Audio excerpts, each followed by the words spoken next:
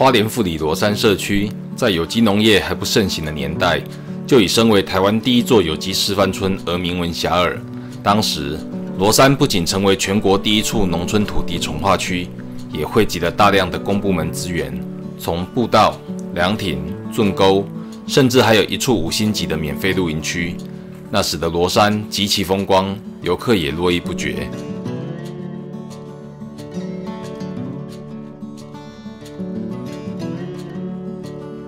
但十多年来，友善土地及有机耕作逐渐成为显学，有机村早已不再一枝独秀。当罗山的光环消散后，公部门的资源也逐渐抽离，人们的焦点开始转移到邻近的六十担山、池上、鹿野等地，而罗山也从媒体的宠儿慢慢的沉寂了下来。这段时间的沉淀，让罗山的居民重新思考了社区发展的方向。幸运的是，由于罗山完整的地理条件与丰富的生态体系，以及与自然和谐共存的耕作方式，正好与近年来各国大力提倡的里山倡议不谋而合。因此，罗山社区与富里乡农会一同合作，在二零一八年五月正式加入了里山倡议国际伙伴关系网络，自此也为罗山社区定下了一个新的方向。那我们一直希望说，我们罗山呃未来呢，不只是只有农业，那希望把这个农业原来的这个精神，还有它的做法呢，再把它提升。所以，我们罗山社区呢，就导入了所谓的里山倡议。里山倡议的目的是兼顾生物多样性维护与资源永续利用之间的平衡。换句话说，就是要找出一个让人类社会与自然和谐共存的方式。那因为我们社区呢，竹林面积非常的大，有五六十公顷。那它就分批分段砍，那就在保持这三四年一直都有竹林砍，它就是一种循环的。在我们做里山倡议的时候，我们也将我们的竹林跟我们的工研院互相来合作，我们去做疏伐的工作，让我们的竹子整个竹林的产业能够慢慢的复苏。我们目前是跟我们的工研院合作了一个竹炭的一个这个工法，这些不需要有任何的燃料。然后它就可以烧成我们的竹炭。那在收集竹炭之后，我们的竹炭也可以回归到我们的稻田，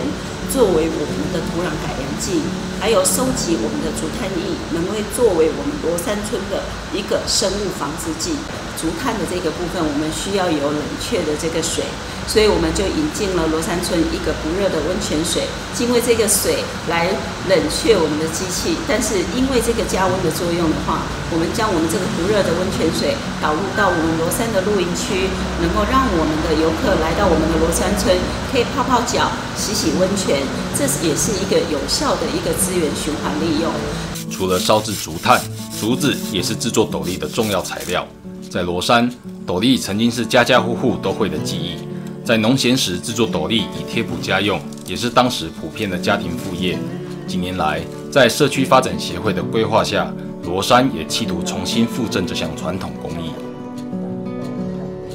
要实践里山的目标，单靠社区的力量是有限的，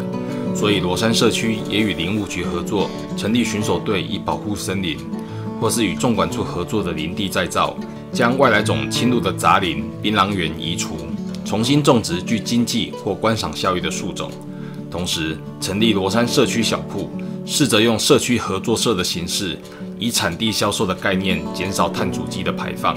在生活上鼓吹居民减塑节能的概念，在每个月办理的社区活动中，已经鲜少看到免洗餐具的使用。一切的一切，都是希望能让这块土地成为永续的家园。除了将里山倡议带入社区。居民们更希望看到自己的孩子对这片土地有更深的连结，因此罗山也成立了社区小学堂。除了孩子的课后辅导，更与林务局合作开设课程，将永续发展的概念传承下去。同时，也鼓励社区青年参与公共事务，透过共同的目标，一起为罗山的未来携手努力。有山有水。有景观，有非常丰富的一个地景地貌，还有我们有非常丰富的人文，这些都是别的地方没有的。所以罗山村是一个目前为止，我觉得全国最适合居住的一个环境。这段时间的努力，不仅让居民的想法有了改变，